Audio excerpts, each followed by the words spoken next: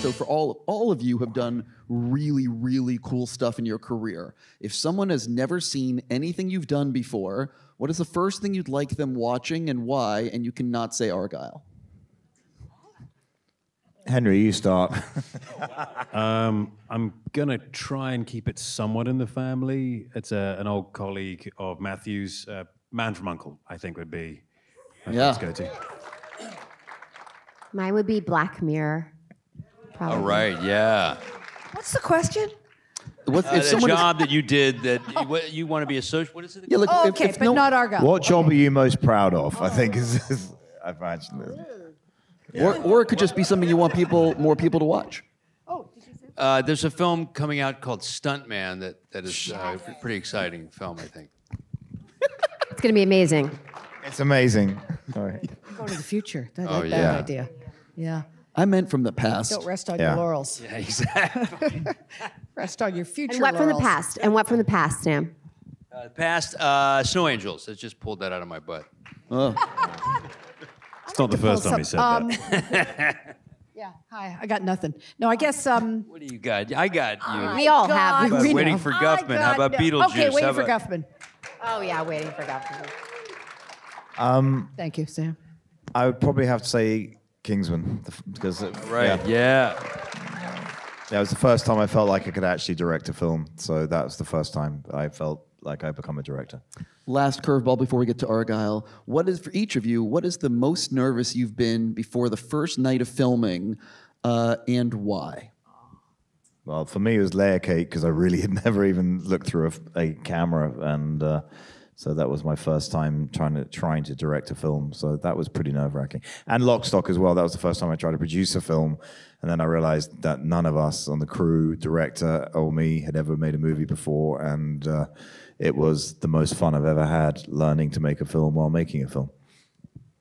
I'm going to say Waiting for Guffman again because it was the first of four improvised movies that I did with Chris Guest and Eugene Levy. And the night before Waiting for Guffman, I knew all the dialogue was going to be improvised, but I just didn't know how it was going to work. And Chris said, just don't, I'm just telling people, don't try to be funny. But Wow. then you just show up on set, and everybody's got their characters, and then you feed off of each other and lift each other up. And But yeah, that was scary. Amazing. Good scary. It's good to be scared, isn't it? Yeah, it's good to be scared, definitely. Yeah, I th- I'd say Box of Moonlight is a movie I did w- with John Turturro years ago. Oh, thanks. Uh, yes, that I was pretty scary on that. I was pretty scared on that. But the, it, fear's an interesting thing, isn't it? I mean, it comes out of nowhere on a film. Anxiety, what, what have you. It, it, it's so random sometimes.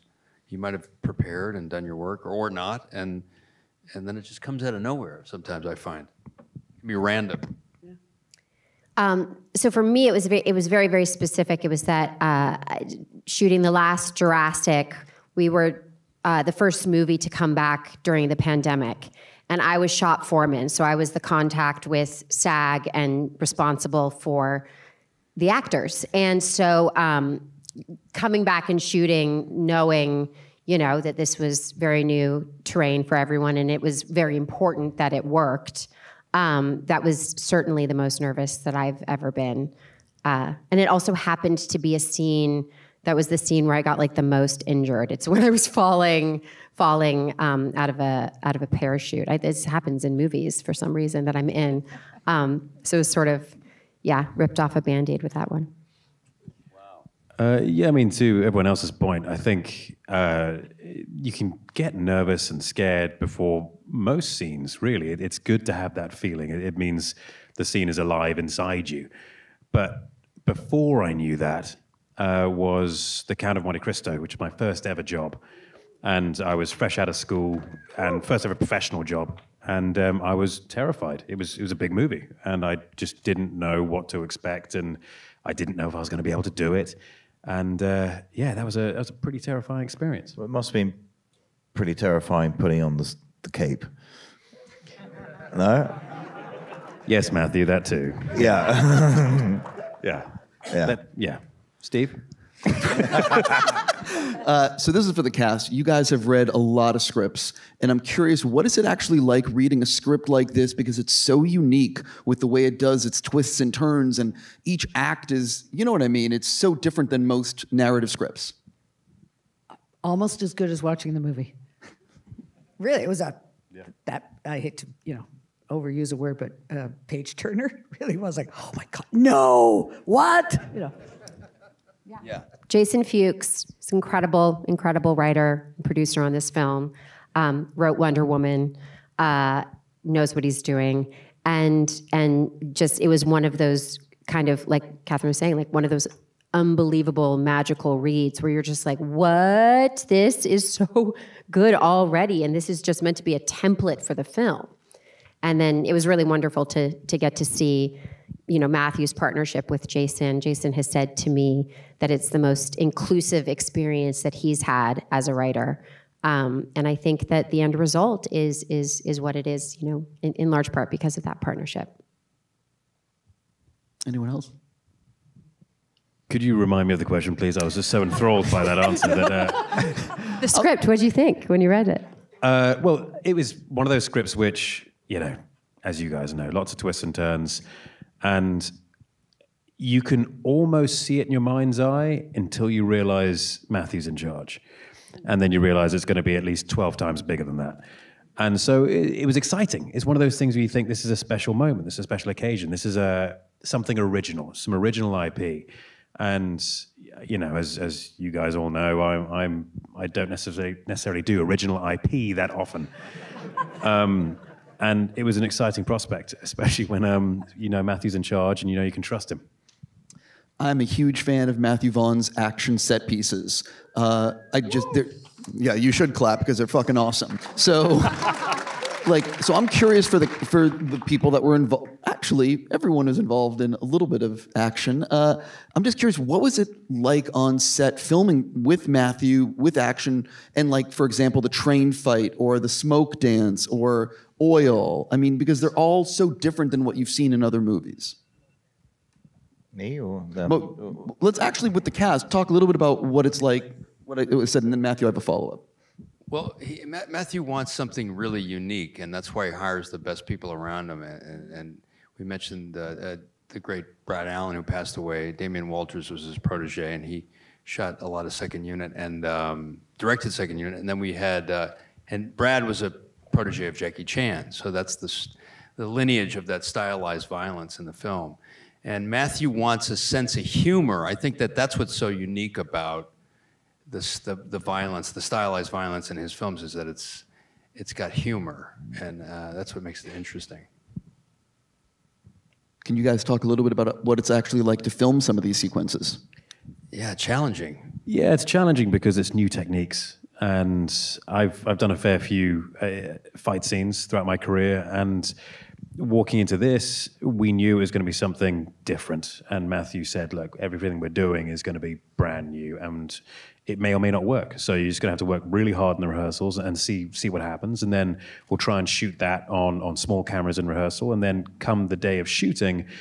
everything may change. It may or may not work. And and we pushed and pushed and pushed, and all that rehearsal time and and all the work that Matthew puts into pre-production pays off because Sam and I on that train scene, for example, it seemed to go fairly seamlessly, and it was only because of the hard work put in. And so that makes a big difference. You go into a scene like that, you do your bit, you do your hard work, you do your prep, and everyone else has done it as well, and it turns out to be a really fantastic scene. And we filmed that in the first two weeks, which I think helped. We weren't physically exhausted, so it was. Um, I, I like to start sequence, uh, start movies with a strong, hard sequence because it gets the crew up to speed very quickly. And um, like the first thing we shot on Kingsman was the church sequence, and um, it's just. I, I think it's uh, yeah, it, it, as um, he liked improvising. There's a lot of popping the cherry, and um, we got through it. Matthew, I'm so curious what you're like because you not only are you the director, but you're also the producer. So, what is it like directing on set when something isn't working? Does the producer head ever come on and say, you know what I mean? Like, what's that balance for you? I mean, it really is Jekyll and Hyde. Um, and it's pretty intriguing that, like from Layer Cake and uh, Stardust, the producer in me was a lot stronger than the director, and um, and then I, I think I wrote, uh, read a Billy Wilder quote that um, he, he said to an executive back in the day, no one, you know, the audience aren't interested if you came in on budget or on schedule. It doesn't really affect you guys. Um, so I've c- come a little bit looser in that sense. And so the creative side is now 70% and the producer's 30%. So I'm, I'm yeah, I, I- think uh, I, I wanted to tell as big a story as possible, and the producer and me sort of whimpers in the background. No, but you, you make the impossible possible because you, you have a vision for something, and then and then typically, you know, a director will, and then the producer will say, "Well, sorry, that's cost prohibitive, so let's dream a little smaller." And um, and because you don't, you you can problem solve your way through those obstacles because you have that experience as a producer, and also because you're, you know, it's largely an independent film for quite a while.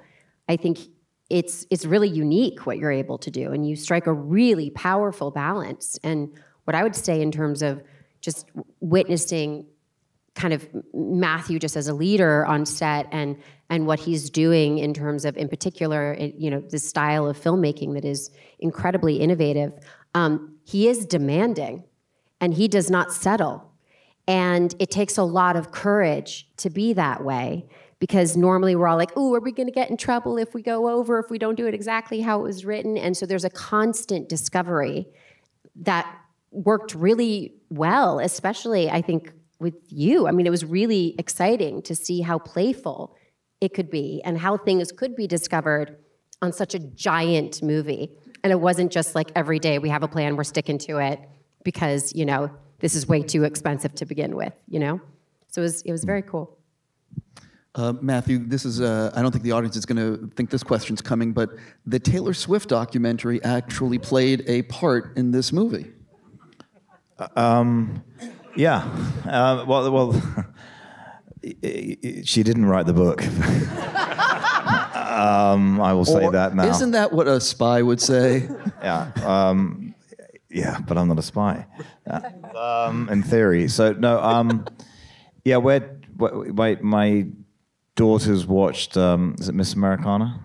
Um, is that the name? I heard it, yeah. Yes, and um, I was sort of glancing at it, and then I saw the cat in a cat pack, and I was like, "What the hell is that?" Um, and I, what happens in my life is I see things, and if it grabs my attention, it goes into the we'll put that in a movie, and I'm not sure when or where. So I'm always just looking at life, and if I and and, and you just see something that's inspiring or funny or powerful, and you know that becomes that will be in a scene sometime in the near future. Also, what people don't realize is the cat in this film originally was being played by a professional until one day when Matthew. I, oh, you want to, sorry. Okay. I was like, I was listening. Yeah, carry on. That's really I was, interesting. I was just Um, giving it right to you. Yeah, no, basically, after the first day of filming, um, we had a professional acting cat, and um, uh, you know cats and acting aren't exactly a, um, you know, it's not true. They don't. Although it's an anagram of acting cat, I just realized. Um, but um, but uh, yeah, so I went to my daughter's bedroom and said, "Can I borrow your cat, please?" And I took the cat to work for three months, and. Um, it was um, yeah it was it was uh, it was actually at first a bit weird driving to work with the cat looking after the cat changing the cat's litter um, being the cat handler as well as the director. But um, he became a very calming influence on me and um, and I think uh, I think he's great in the movie. So I'm very proud of him. So he is a nepo kitty but he's a good cat. He's called Chip and he can't be here. Well she was here actually but he can't Uh, Henry, I have an individual question for you. You have done a lot of incredible action set pieces in your career. What do you still think of as like the hardest thing you've done, and what was it like uh, working on this film in comparison to the other action set pieces you've done? Uh, the the hardest action set piece or sequence I've done uh, is easily the helicopter scene in Mission Impossible. That was uh, crazy. I mean, the, Tom was doing all the real work. He was flying the helicopter. Um, I was just hanging out the back of the other one. But it was. know, that sounds like work, Henry. I mean, it, it, it was it was just cold. That was the problem. And, and actually, on on the bravery piece to begin with, because you have a little half harness on um, with a with a, a, a length of cable about that long, and initially you are terrified of sitting on the edge of an open helicopter in the mountains, but by take two, you are leaning all the way out, full trust.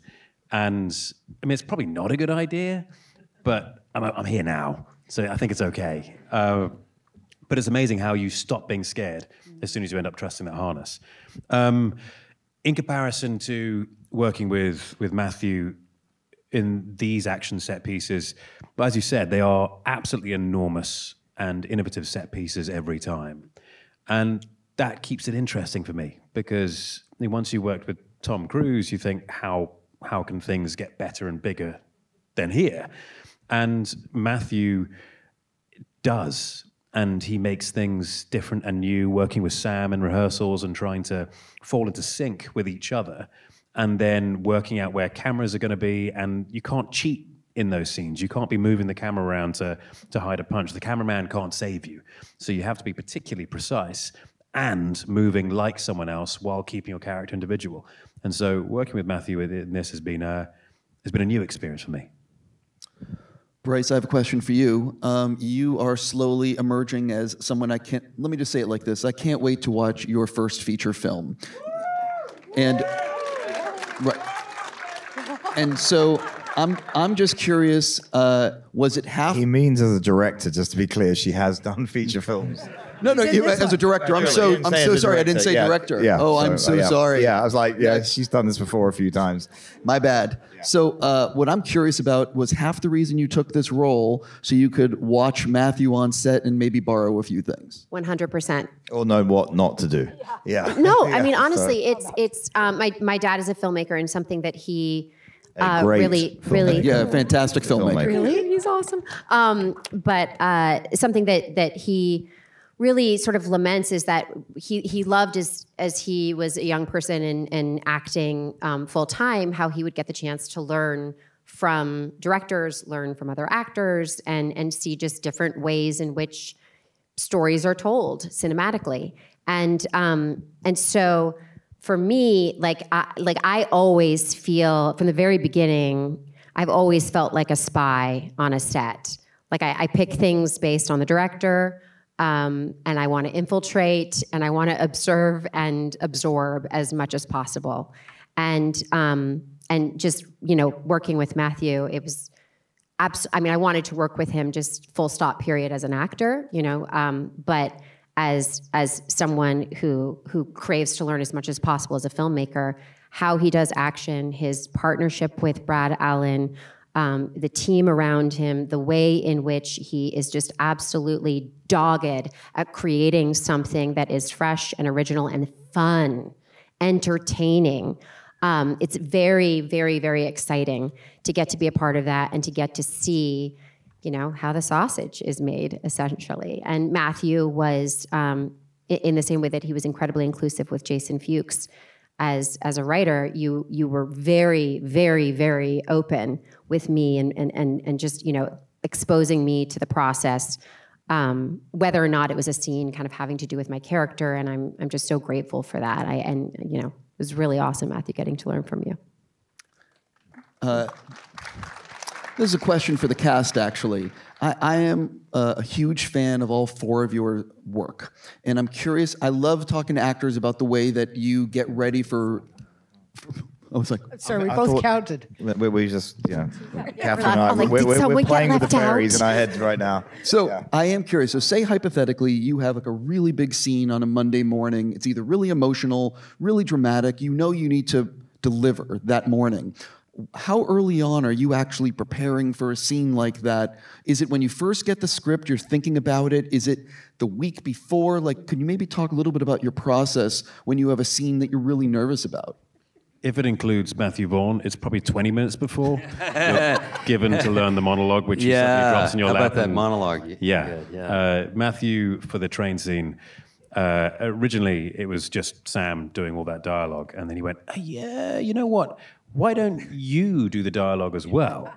And so there I was thinking, "Oh, great! Uh, it's my first day on set, and I need to learn a monologue in 20 minutes and perform it, and, And- in and front match of, in front the of actors who I haven't worked with either." No, but you had to match the cadence as well. Like it was a very high wire act. yeah, so Math- with Matthew, it's 20 minutes. Bravo. Yeah, and from there, from here on out, I would now refuse to prepare until 20 minutes before. Sam, what's your process like? Uh, I, I think it's early on. I get nervous thinking about things. Uh, so hopefully, you know, the fights won in the training camp. I suppose.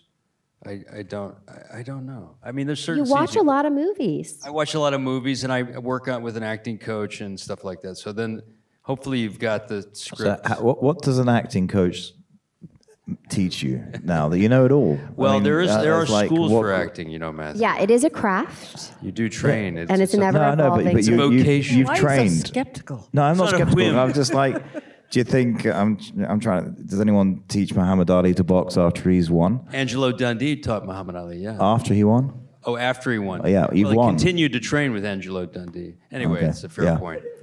Um, we Mick won't get Jagger into still semantics. takes singing lessons. I He think needs that's cool. to. Well, But that's cool. yeah, that's Yeah. cool. Could just not. yeah. No, some people don't go to school. Some people. Anyway, this is not a. This the listener doesn't need to hear this conversation. I don't. I would hear it. It's just like being back on you have to set, say. just watching them argue. this went off in such a direction I did not expect. Yes. Not even a little. So we'll switch to something else, which is Matthew, you got to put the last Beatles song ever in your movie. So talk a little bit about how you managed to swing that. Oh yeah. Um, well, I, I I was trying to find a song for for their their their love song, let's call it, and I needed something with uh, sadness but hope. And um, Giles Martin, who produced the song, um, I was with him, and he said, "Would you like to hear a new or an old new Beatles song?" I just couldn't get my head. I thought he was winding me up, and then he played it, and we just slapped it on every scene and it just fitted and the lyrics you know now and then and and then we orchestrated it at the end you hear the orchestra just you know they, i thought it was a beautiful piece of music at that time and and then I had to. I had the pleasure of meeting Sir Paul and and and the rest of the, the well, the Beatles and the Beatles kids, and um, it was just an honor. I, was, I couldn't believe I was getting to work on the last ever Beatles track, and and I had to keep it a secret for a year and a half, which is you know I had it on my iPhone. I wanted to play it to everyone, and I couldn't. Um, so um, yeah, and I, I'm, I'm very lucky, very lucky. This is a question for everyone. Obviously, the shoot must have been a blast, challenging, every word you could add to that sentence. But when you think back on the shoot, what's like the day or two that you will always remember? Whether it be because things went terribly wrong or because it was an amazing day.